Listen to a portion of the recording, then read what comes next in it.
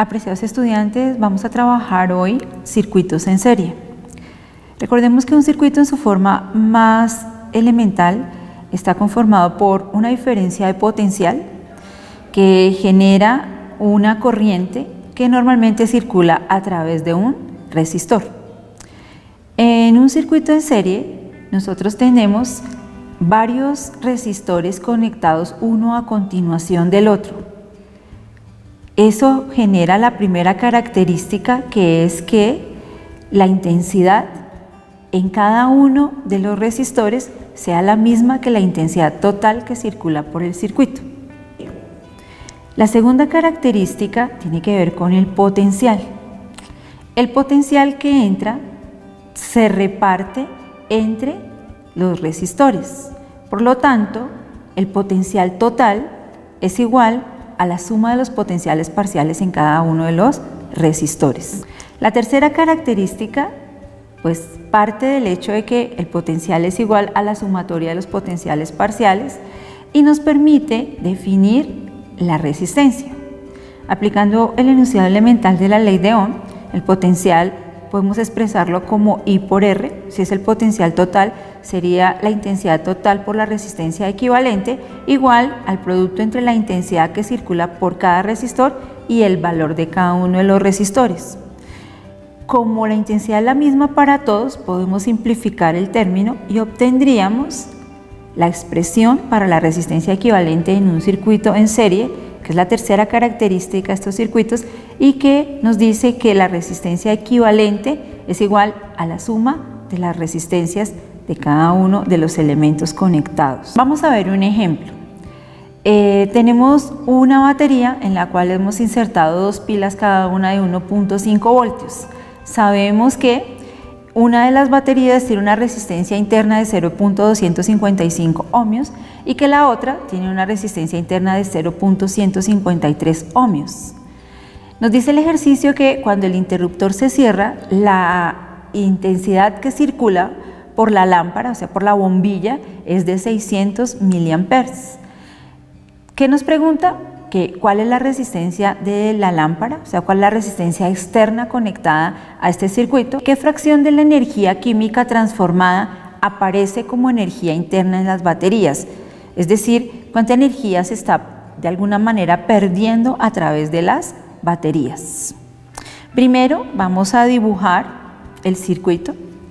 Estaría entonces conformado por tres resistencias las resistencias internas de cada una de las baterías y la resistencia externa de la lámpara.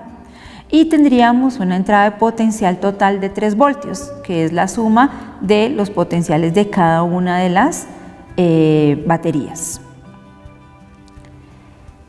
Vamos primero a determinar el valor de la resistencia externa. Entonces, para eso partimos de que, como este es un circuito en serie, la intensidad es la misma para todos los elementos y sabemos que esa intensidad tiene un valor de 0.6 amperes. Además sabemos que el potencial de entrada es de 3 voltios. Utilizando eh, la expresión de la ley de Ohm, B igual a I por R, despejamos el valor de la resistencia equivalente, que sería igual a qué? Pues a los 3 voltios sobre los 0.6 amperes. Quiere decir que la resistencia equivalente de ese circuito es de 5 ohmios. Y sabemos, de acuerdo a las características que vimos del circuito en serie, que esa resistencia equivalente en un circuito de estas características es igual a la suma de las resistencias parciales, es decir, la suma de la resistencia interna 1, de la resistencia interna 2 y de la resistencia externa 3.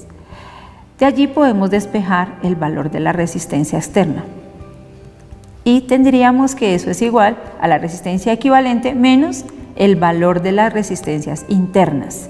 La resistencia equivalente es 5 ohmios, 0,255 y 0,153 las resistencias internas, nos lleva a que el valor de la resistencia externa, o sea, el de la bombilla, es de 4.592 ohmios. Ya hemos contestado la primera pregunta y hemos utilizado dos de las características del circuito en serie. La primera, que la intensidad se mantiene constante, entonces con el valor total de la intensidad y del potencial de entrada calculamos la resistencia equivalente. Y la segunda, que la resistencia equivalente es igual a la suma de las resistencias de cada uno de los elementos conectados. Vamos ahora a determinar cuánto de la energía se pierde o se disipa a través de las baterías. Bueno, sabemos nosotros que el potencial de, que le corresponde a la lámpara es igual a la intensidad que circula por él por su resistencia. Ya determinamos la resistencia y sabemos que la intensidad es la misma para todos, por lo tanto el potencial que le corresponde a la lámpara es de 2,755 voltios. Con este potencial podemos determinar el valor de la potencia. La potencia es igual al producto entre el potencial y la intensidad, es decir, 2.755 voltios por 0.6 amperes. Quiere decir que la potencia de el resistor externo o de la bombilla o la lámpara es de 1.653 vatios. Ahora, con el potencial total de entrada y la intensidad total, vamos a calcular la potencia total de ese circuito. Esa potencia sería 3 voltios por 0.6 amperes, es decir, 1.8. La diferencia entre la energía total del circuito, es decir, los 1.8 vatios, y la energía que le corresponde o que se emite a través de la lámpara, 1.653, nos representa la energía que se está quedando en las baterías, es decir, 0.147 vatios. Y como lo que nos pide el ejercicio es específicamente qué porcentaje de la energía se pierde, entonces ese valor lo hallamos a través del cociente entre lo que se está perdiendo allí, que son 0.147 vatios, y el total de energía que está llegando, que son 1.8 vatios.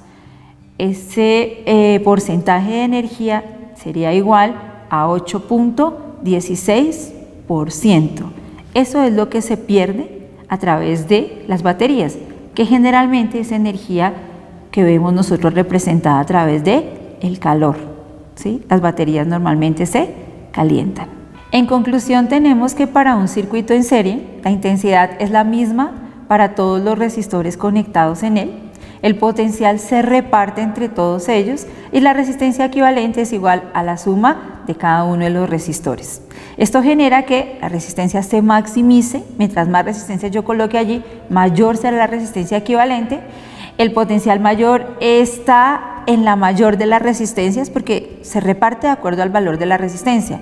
Mientras mayor sea la resistencia, mayor es el potencial que le corresponde. Y por último, la potencia se minimiza. Se minimiza ¿por qué? Porque la resistencia aumenta y la intensidad disminuye. Muchísimas gracias.